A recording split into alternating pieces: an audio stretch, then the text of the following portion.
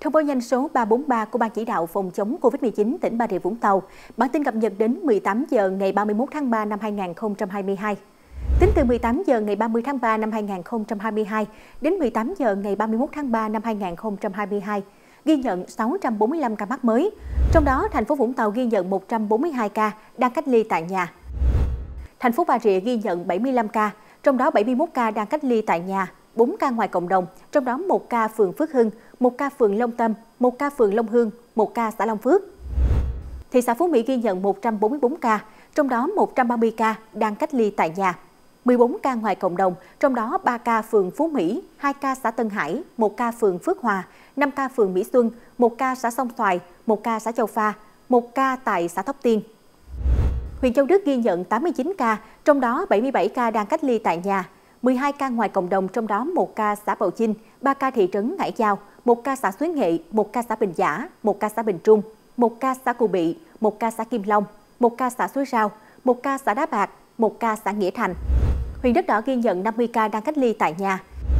Huyện Long Điền ghi nhận 48 ca, trong đó 14 ca đang cách ly tại nhà, 34 ca ngoài cộng đồng, trong đó 15 ca thị trấn Long Điền, 12 ca thị trấn Long Hải, 1 ca xã An Ngãi, 6 ca xã Phước Hưng.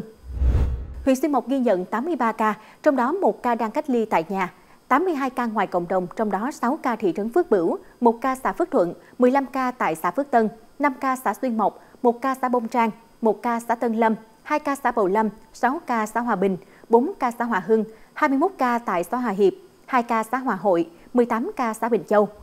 Huyện Công Đảo ghi nhận 14 ca, trong đó 1 ca đang cách ly tại nhà, 13 ca ngoài cộng đồng, trong đó 2 ca khu 2, 3 ca khu 3, 1 ca khu 5, 1 ca khu 6, 3 ca khu 7, 3 ca khu 9. Số ca đã khỏi bệnh trong ngày là 20 ca.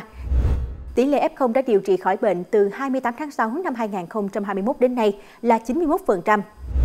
Số người đang cách ly tập trung tăng mới vào không, giảm hoàn thành cách ly không.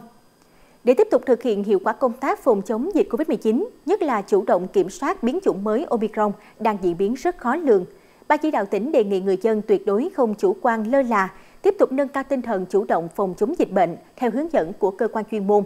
chấp hành nghiêm nguyên tắc 5K, thực hiện khai báo y tế tại trung tâm y tế nơi cư trú hoặc trạm y tế lưu động khi có bất kỳ một trong các biểu hiện bất thường như ho, sốt, đau họng, khó thở, đau người, mệt mỏi, ấn lạnh, giảm hoặc mất vị giác hoặc khứu giác, tiếp xúc với người nhiễm hoặc nghi ngờ nhiễm COVID-19 để được thực hiện sàng lọc COVID-19 chủ động. Hãy nâng cao tinh thần với thông điệp tiêm vaccine vững niềm tin, tiếp tục ủng hộ công tác tiêm chủng vaccine mũi 3 phòng COVID-19 mà tỉnh đang triển khai, cũng như ủng hộ chiến dịch tiêm chủng vaccine phòng COVID-19 tỉnh chuẩn bị triển khai cho trẻ từ 5 đến dưới 12 tuổi theo tinh thần tiêm chủng vaccine phòng COVID-19 là quyền lợi đối với trẻ, là trách nhiệm đối với cộng đồng.